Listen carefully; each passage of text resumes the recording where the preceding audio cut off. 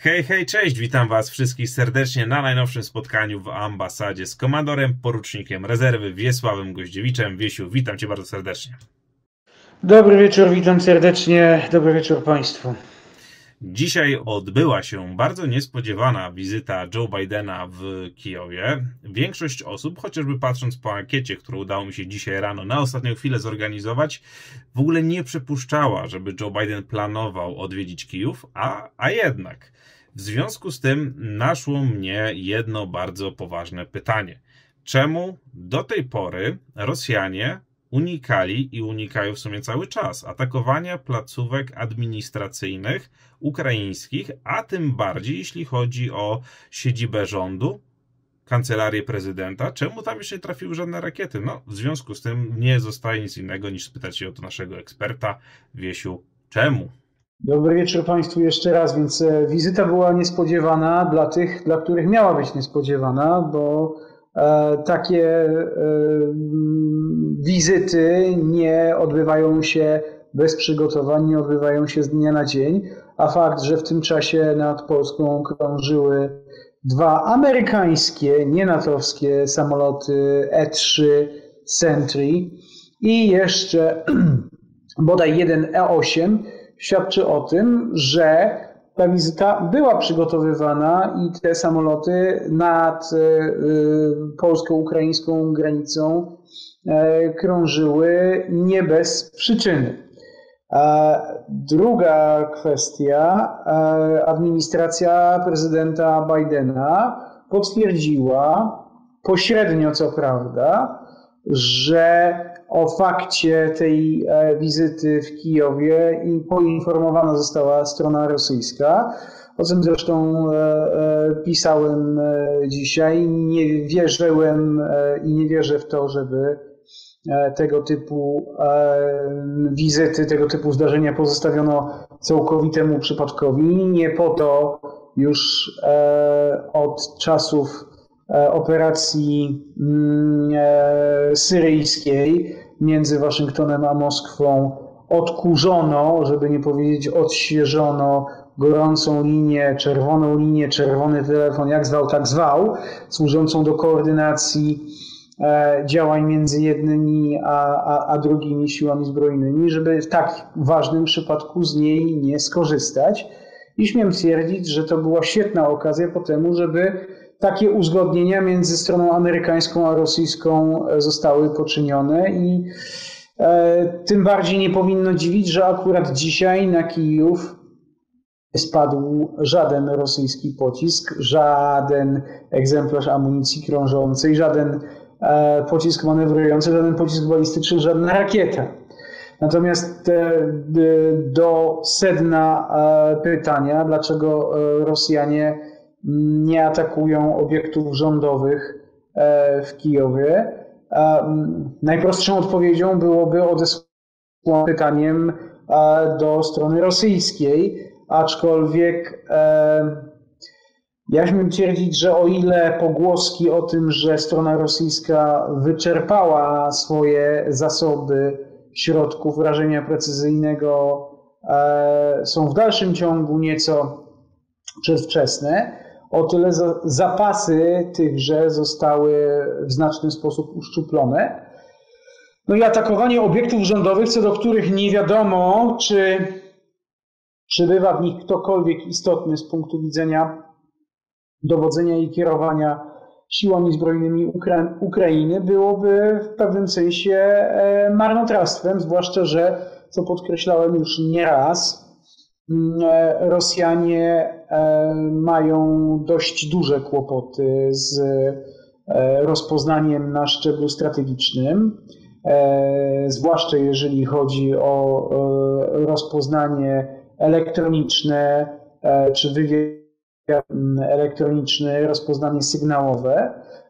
W związku z tym, no, w dużej mierze, jeżeli chodzi o dobór celów, polegają na informacjach pozyskiwanych ze źródeł osobowych, a te muszą dotrzeć do odpowiednich miejsc, do odpowiednich czynników sprawczych w Rosji mm, w odpowiednim czasie, żeby umożliwić uderzenie. I informacje przekazywane ze źródeł osobowych zapewne docierają do e, e, rosyjskiego sztabu generalnego czy innych instytucji odpowiedzialnych siłach zbrojnych Federacji Rosyjskiej za e, podejmowanie decyzji o uderzeniach na obiekty o znaczeniu strategicznym ze znaczącym opóźnieniem.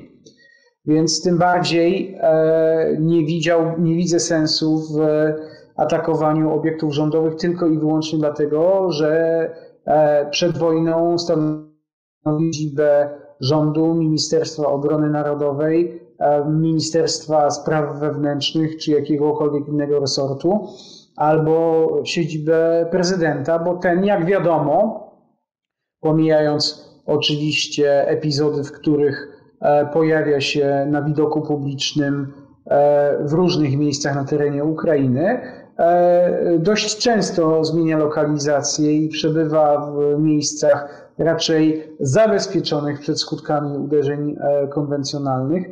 Więc no, Ro Rosji e, przyszłoby ewentualnie e, próbować równać z ziemią kolejne budynki rządowe w Kijowie, absolutnie bez jakiejkolwiek gwarancji, że przyniosłoby to skutek w postaci wyeliminowania czy to prezydenta Zełęńskiego, E, czy ministra e, Reznikowa, e, czy szefa ukraińskiego sztabu generalnego.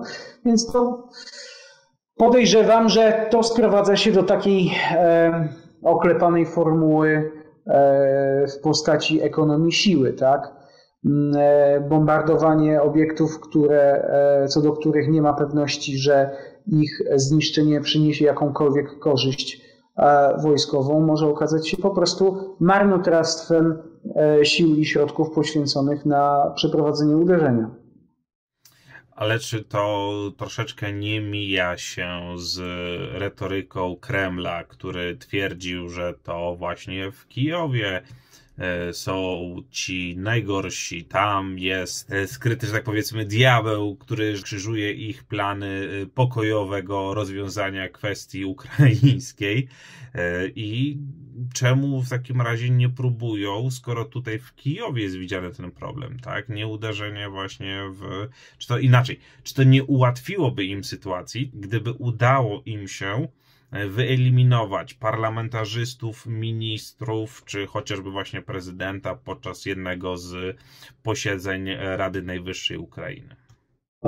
Przede wszystkim tak, retoryka rosyjska retoryką. E, na ile ona przekłada się na rzeczywiste decyzje podejmowane, czy to w rosyjskim sztabie generalnym, czy na Kremlu w gabinecie e, Władimira Władimirowicza, e, trudno mi oceniać. Natomiast tutaj powstają, powiedziałbym, trzy zasadnicze problemy. Po pierwsze, parlamentarzyści czy członkowie rządu, co do zasady, nie są kombatantami, więc nie stanowią dozwolonych celów wojskowych. E, I próba wyeliminowania e, polityków ukraińskich tylko i wyłącznie ze względu na to, że pełnią określone funkcje e, polityczne, byłaby de facto świadomym i, celowym atakowaniem osób cywilnych które nie biorą e, bezpośredniego udziału w działaniach zbrojnych, a co za tym idzie potencjalnie zbrodnią wojenną. To raz. Druga sprawa, tak jak powiedziałem, no zasoby rosyjskie, jeżeli chodzi o środki rażenia precyzyjnego, nie są niewyczerpane i e, no, nie wyobrażam sobie sytuacji, w której e, Rosja jest w stanie zaatakować i zniszczyć wszystkie potencjalnie, potencjalne obiekty rządowe ukraińskie e, w Kijowie. A nawet gdyby było to możliwe, to jeszcze raz, mm, e, być może wiązałoby się to po prostu z wykorzystaniem było nie było kosztownych i cennych zasobów, jakimi są e, środki rażenia precyzyjnego na mm, tak zwane polowanie na duchy. A trzecia kwestia, Pamiętajmy o tym, że Kijów jest dość gęsto zabudowaną i, i gęsto zaludnioną metropolią, w której póki co toczy się normalne jak na tamte warunki życie i e, próba e, zbombardowania czy zniszczenia wszystkich rządowych e, obiektów w Kijowie ze znaczną dozą prawdopodobieństwa wiązałaby się ze spowodowaniem dużej ilości ofiar wśród ludności cywilnej bez gwarancji osiągnięcia korzyści wojskowej w postaci wyeliminowania osób, które mają rzeczywisty wpływ na przebieg e, e, wojny po stronie ukraińskiej. I e, które z tego powodu mogłyby zostać uznane za dozwolone cele wojskowe. Przy czym nie jestem absolutnie znawcą ukraińskiej konstytucji i nie jest wiedzieć na ile prezydent Zełeński faktycznie sprawuje efektywną kontrolę nad ukraińskimi siłami zbrojnymi i w związku z tym mógłby zostać uznany za dowódcę w cudzysłowie i dozwolony cel wojskowy, a na ile to swoje zwierzchnictwo nad siłami zbrojnymi realizuje w sposób powiedzmy sobie bardziej nominalny e, i za pośrednictwem osób, które faktycznie taką kontrolę nad siłami zbrojnymi sprawują, czytaj ministra obrony narodowej i szefa sztabu generalnego. E, tutaj pewnym ewenementem pod tym względem jest prezydent Stanów Zjednoczonych, który jest najwyższym organem e, dowódczym w hierarchii amerykańskich sił zbrojnych i z tej perspektywy jako głównodowodzący faktycznie, a nie tylko nominalnie, mógłby zostać uznany za dozwolony cel wojskowy, ale odnosząc to do mm, chociażby przykładu polskiego, prezydent e, RP, mimo że jest formalnie i nominalnie e, zwierzchnikiem sił zbrojnych, wojny nominuje naczelnego dowódcę, który tak naprawdę sprawuje efektywną e, kontrolę i realizuje proces dowodzenia i kierowania siłami zbrojnymi w czasie wojny. Prezydent w tym e, czasie tak naprawdę ma bardzo ograniczone kompetencje, jeżeli chodzi o zwierzchnictwo nad siłami zbrojnymi i e, podejrzewam, że e, na Ukrainie e, sytuacja jest zbliżona. W związku z tym prezydent nawet przy bardzo dużej elastyczności interpretacji, moim skromnym zdaniem nie mógłby zostać uznany za dozwolony cel wojskowy, którego wyeliminowanie uzasadniałoby mm, użycie typowo e, wojskowych środków. Co innego oczywiście w sytuacji, w której, e, jak to było e, pierwotnie planowane, doszłoby ewentualnie do ujęcia prezydenta Zełńskiego, jego aresztowania bądź internowania, ale bez użycia typowo wojskowych środków do jego eliminacji, ponieważ moim zdaniem nie spełnia on kryteriów uznania za, za kombatanta, a zatem dozwolony cel wojskowy. No okej. Okay. Czy jednak, gdyby doszło do na przykład udanego zamachu na życie mm, prezydenta Zełęńskiego, czy w formie no, w sumie możemy już powoli myśleć o wspominkach, e, ponieważ za cztery dni rocznica e, pełnoskalowej inwazji Rosji na Ukrainę. Zatem e, no, przypomnijmy, jak to wyglądało, kiedy jeszcze Kijów był de facto oblężony. To zarówno kadyrowcy, jak i grupa Wagnera śmiała twierdzić, iż zostali oddelegowani do pojmania albo wyeliminowania prezydenta Zełenskiego. I tak samo, czy w tym przypadku, kiedy zostałby wyeliminowany przez grupę Wagnera, czy doszłoby do ataku rakietowego, w którym by on zginął? Powiedz mi proszę, Wiesiu, czy miałoby to jakieś reperkusje na arenie międzynarodowej? Czy przyniosłoby też może y, jakieś sukcesy Rosji? Po pierwsze, e, powtarzając się e, poniekąd, śmiem twierdzić, że rola prezydenta Zełońskiego, jeżeli chodzi o dowodzenie i kierowanie ukraińskimi siłami zbrojnymi, jest bardziej symboliczna niż faktyczna. I z perspektywy symbolu, być może Kreml planował odsunięcie prezydenta Zełyńskiego w nadziei na to, że wraz ze zniknięciem czy usunięciem charyzmatycznego e, lidera mm, e, e, no, załamie się duch walki po stronie ukraińskiej. Tym niemniej po raz kolejny odróżniałbym tutaj kwestię ewentualnego pojmania i, i chyba takie było dążenie na początku inwazji prawie rok temu, pojmania, ewentualnie osądzenia czy transmitowania w sposób publiczny e, faktu, że, że prezydent Zełęński znajduje się w pewnego rodzaju niewoli rosyjskiej, właśnie w celu oddziaływania psychologicznego bardziej na mm, e, naród rosyjski, aniżeli faktycznego sparaliżowania E, systemu dowodzenia i kierowania ukraińskimi e, siłami zbrojnymi. Więc e, tutaj kwestie oddziaływania psychologicznego jak najbardziej zasadne, aczkolwiek absolutnie nie uzasadniałyby potraktowania czy, czy nominowania prezydenta Zełenskiego jako dozwolonego celu wojskowego i jego fizycznej eliminacji w taki sposób, w jaki eliminuje się na polu walki e, dowódców przeciwnika.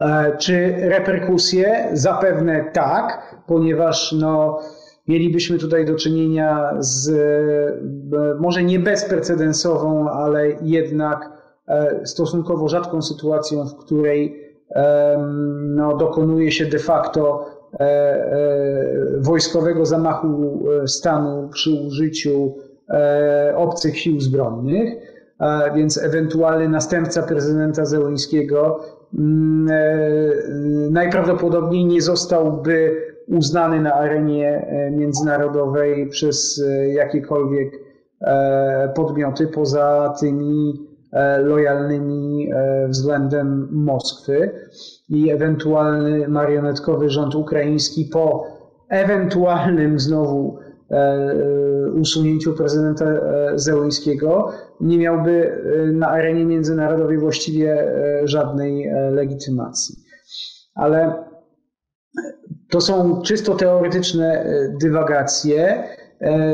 Ja w dalszym ciągu skłaniam się raczej ku tezie, że względy ekonomii siły przemawiają za tym, że Rosja nie E, dokonuje e, systematycznego mm, e, bombardowania, systematycznych ataków na obiekty administracji rządowej ukraińskie w Kijowie, bo raczej o względy humanitarne w tym przypadku strony rosyjskiej bym nie podejrzewał. Okej, okay to skoro patrzymy na to w ten sposób, śmiałbym się w minimalny sposób y, nie zgodzić, ponieważ regularne są ataki na elektrownie, chociażby w samym Kijowie. Zatem, czy nie wzbudziłoby większego szoku w opinii publicznej, chociażby samej Ukrainy czy Kijowa, tak? Kiedy zostałby zniszczony budynek e, właśnie Najwyższej Rady Ukrainy, a może budynek yy, Huru, a być może budynek SBU, tak? Czy to nie byłby szok taki sam, jaki jest wynikający z zniszczenia na chociażby elektrowni? Więc e, szok być może, aczkolwiek na tym etapie e, wojny e, spodziewałbym się raczej efektownego do ewentualnie zamierzonego, czyli scementowania, jeszcze, jeszcze większego scementowania ukraińskiego oporu w reakcji na tak symboliczny mm, atak.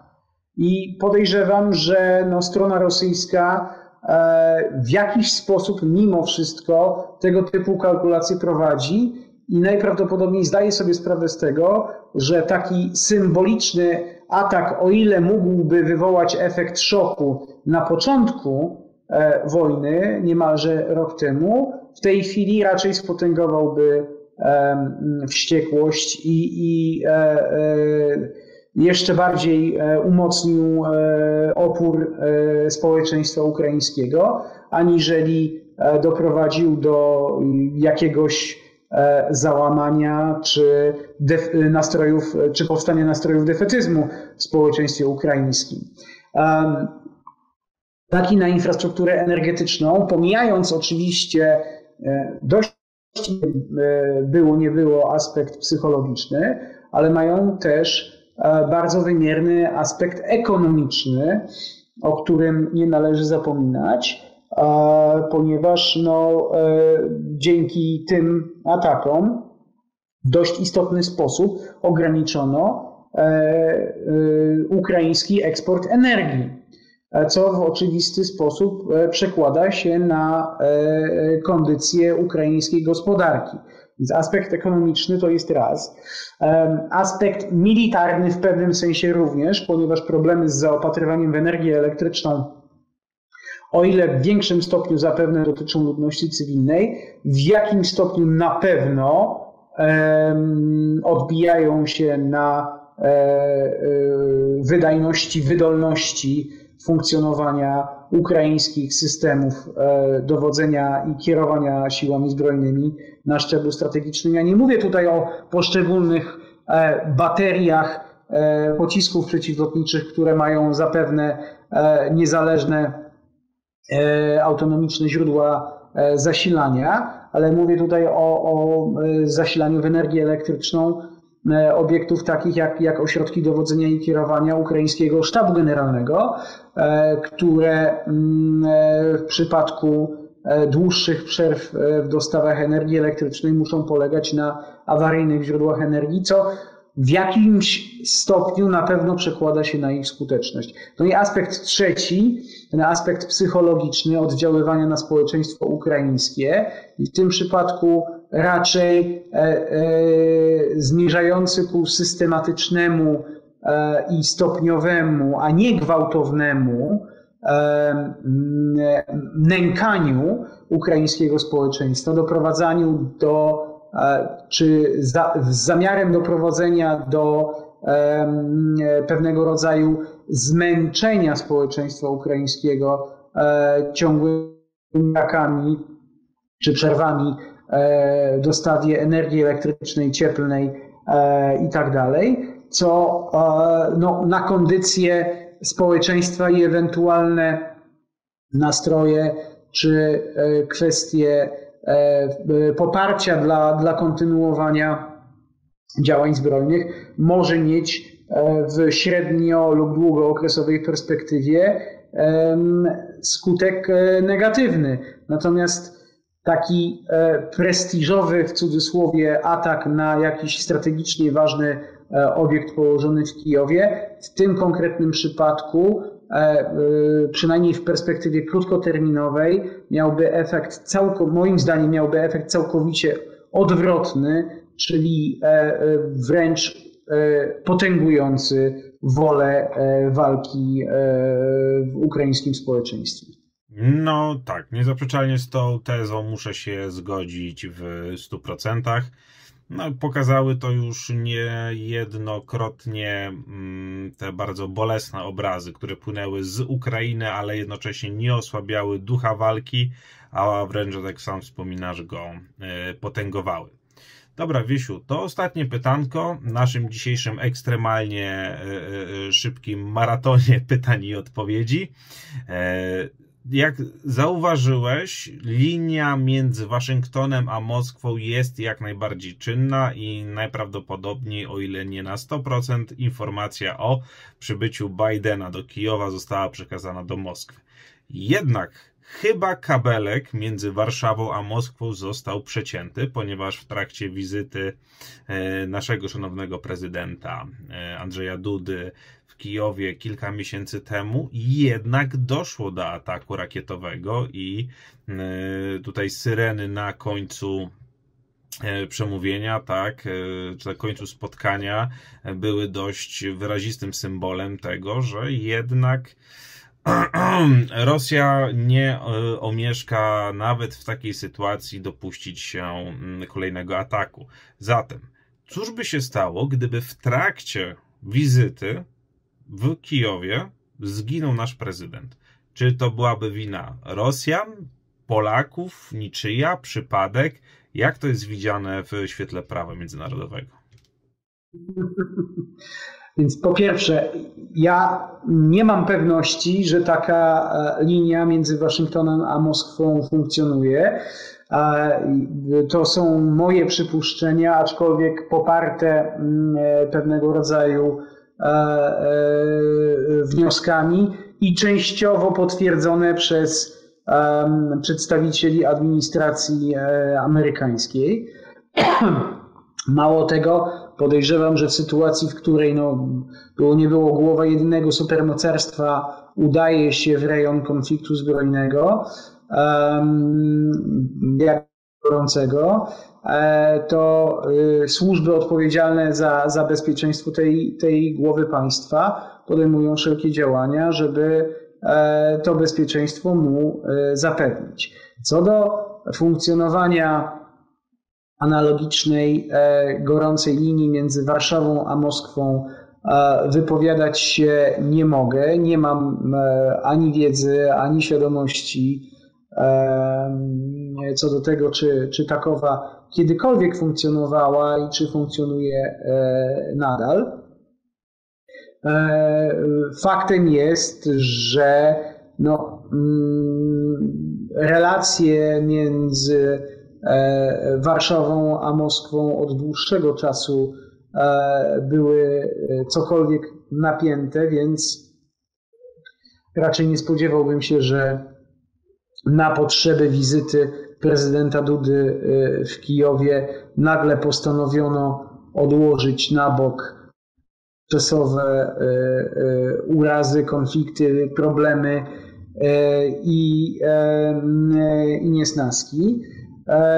Natomiast no, weźmy też poprawkę na to, jaką globalną potęgą jest, są Stany Zjednoczone, jakimi środkami dysponują i również zwrócimy uwagę na te różnice, o których mówiłem wcześniej, jeżeli chodzi o nominalne, a rzeczywiste funkcje w zakresie kierowania e, i dowodzenia siłami zbrojnymi między prezydentem Stanów Zjednoczonych a prezydentem RP. Więc no, atak e, e, na prezydenta Stanów Zjednoczonych byłby de facto atakiem na siły zbrojne Stanów Zjednoczonych i spotkałby się bezsprzecznie z militarną odpowiedzią ze strony Stanów Zjednoczonych.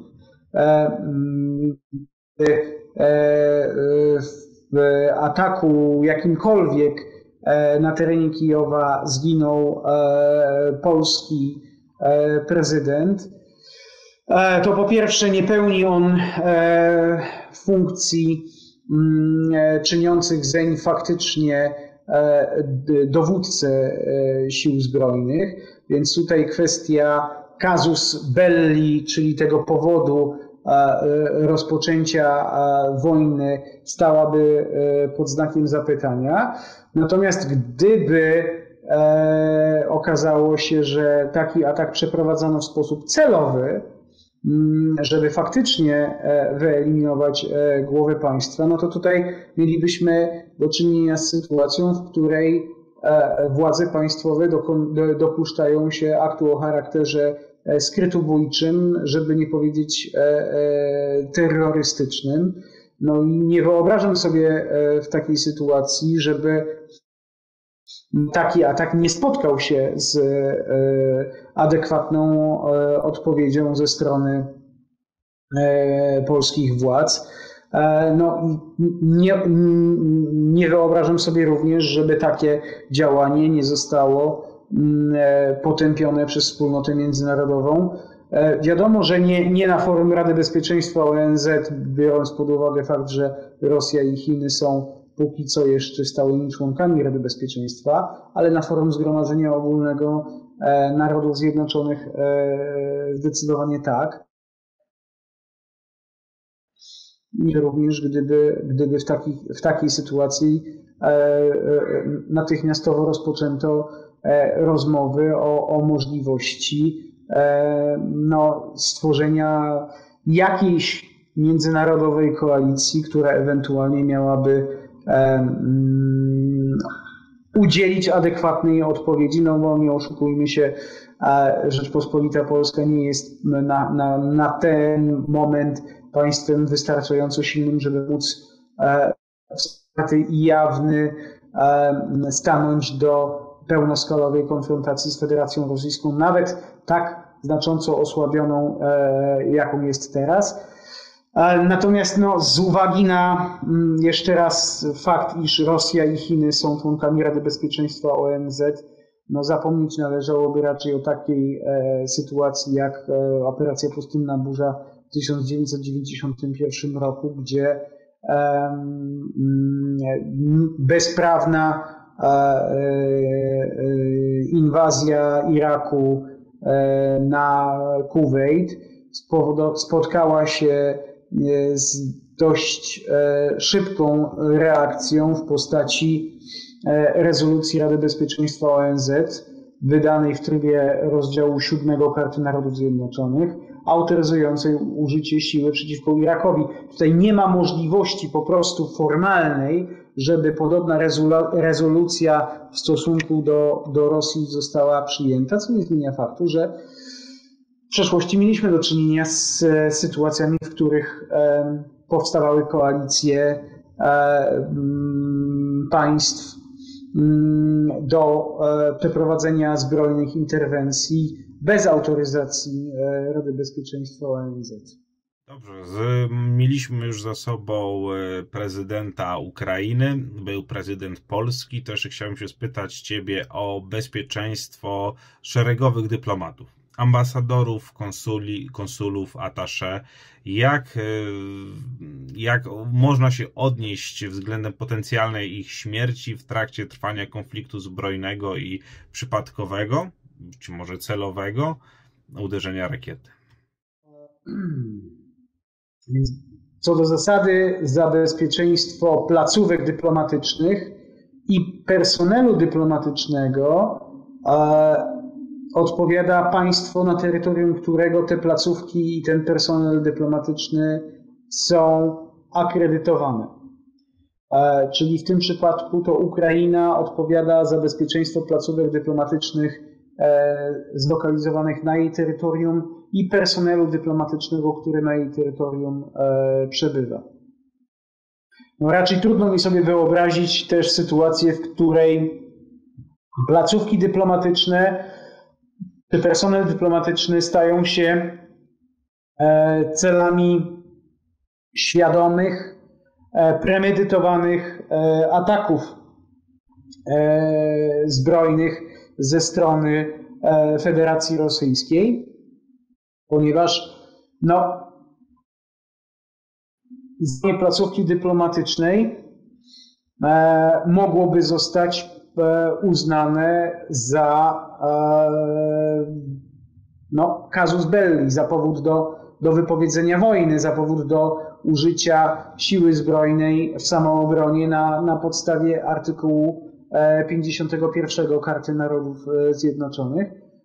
To nie tylko ze względu na szczególny status przysługujący placówkom dyplomatycznym i personelowi dyplomatycznemu, ale również ze względu na e, fakt, iż placówki te i personel e, ten stanowią de facto przedstawicielstwa rządów państw e, wysyłających. I co za tym idzie, atak na placówkę dyplomatyczną czy atak na personel dyplomatyczny może zostać potraktowany za atak na de facto rząd państwa, którego placówka dyplomatyczna lub personel zostały zaatakowane. Jeśli e, się nie mylę, to przez ten niemalże rok trwania wojny na Ukrainie e, tylko raz zdarzyła się sytuacja, w której uszkodzeniu uległ budynek, to nawet nie placówki dyplomatycznej, tylko o ile, o ile pamiętam, urzędu konsular, niemieckiego urzędu konsularnego na terytorium Ukrainy i bynajmniej nie stanowił on bezpośredniego celu ataku, został uszkodzony niejako pośrednio. Więc tutaj też raczej nie spodziewałbym się tego, że, że placówki dyplomatyczne zlokalizowane na, te, na, na terenie e, Ukrainy, zwłaszcza e, e, w Kijowie, zostałyby zaatakowane czy uszkodzone przypadkowo. Tu już prawdopodobieństwo ewentualnie rośnie, aczkolwiek śmiem twierdzić, że Rosjanie doskonale znają lokalizację wszystkich w Kijowie i będą e, dążyć, czy będą e, podejmować e, działania, aby mm, uniknąć ewentualnych przypadkowych uderzeń na te obiekty z przyczyn, o których przed chwilą wspomniałem, ponieważ no, na, na, na chwilę obecną wiele wskazuje na to, iż Rosja nie dąży do otwartej konfrontacji z jakimkolwiek E, państwem członkowskim sojuszu, mając świadomość tego, iż mogłoby to skończyć się e, przywołaniem artykułu 5 traktatu e, waszyngtońskiego i ewentualną zbrojną odpowiedzią ze strony całego sojuszu. Słuchaj, to jedno totalnie błyskawiczne pytanie, bo tutaj e, przypomina mi się kwestia wysłania ładunku wybuchowego do ambasady Ukrainy w Madrycie czy legalnym jest atakowanie chociażby i podstępem, a może i oficjalnie placówek dyplomatycznych na terenie innego kraju? Chyba nie ma absolutnie nic legalnego w atakowaniu placówek dyplomatycznych, bez względu na to, gdzie są e, zlokalizowane. Personel dyplomatyczny, nawet jeżeli należy do e, państwa e, przeciwnika, podlega ochronie wynikającej z konwencji wiedeńskiej o stosunkach e, dyplomatycznych, e, jest objęty immunitetem i w żadnej mierze nie, nie może zostać e, zaatakowany. Także o jakich. Dla mnie w ogóle a, nieco absurdalne jest pytanie, czy, czy wysyłanie bomby gdziekolwiek może być może być legalne, zwłaszcza, że e, e, mówimy tutaj o, o, e, no, o akcie o, o mm, charakterze ewidentnie terrorystycznym, tak? bo mówimy o, o ładunku wybuchowym w jakiejś przesyłce pocztowej, co absolutnie nie ma nic wspólnego z prowadzeniem działań zbrojnych. To byłby akt o charakterze terrorystycznym, więc no, sama, samo pytanie o legalność takiego, takiego działania jest, jest cokolwiek absurdalne. Rozumiem jak najbardziej oburzenie, jednak do tak owej sytuacji doszło, chociaż nikt w tym wszystkim Rosji, e, winy Rosji nie udowodnił. Na tym polega wiele operacji e, służb specjalnych czy sił specjalnych, żeby zacierać ślady ewentualnego zaangażowania władz państwowych e, e, i nie wykluczam absolutnie ewentualności, że za takim e, działaniem w tym przypadku stały rosyjskie służby albo, albo rosyjskie władze, natomiast nie zmienia absolutnie nic mojej poprzedniej wypowiedzi, że próba doszukiwania się jakiejkolwiek legalności tego typu działań jest całkowicie absurdalna. Okej, okay. jasna i klarowna e, sytuacja. No cóż, w takim razie, jeśli chodzi o nasze dzisiejsze spotkanie w ambasadzie z komandorem porucznikiem rezerwy Wiesławem Goździewiczem, można uznać za udane i jednocześnie zakończone. E, dziękuję Ci ślicznie, Wiesiu, za kolejną dozę wspaniałych, e, mądrych e, informacji, którymi możemy posilić naszych wszystkich widzów. Dziękuję Ci ślicznie. Do zobaczenia, do usłyszenia. Dziękuję bardzo za zaproszenie. Dziękuję Państwu za uwagę. Do zobaczenia, do usłyszenia.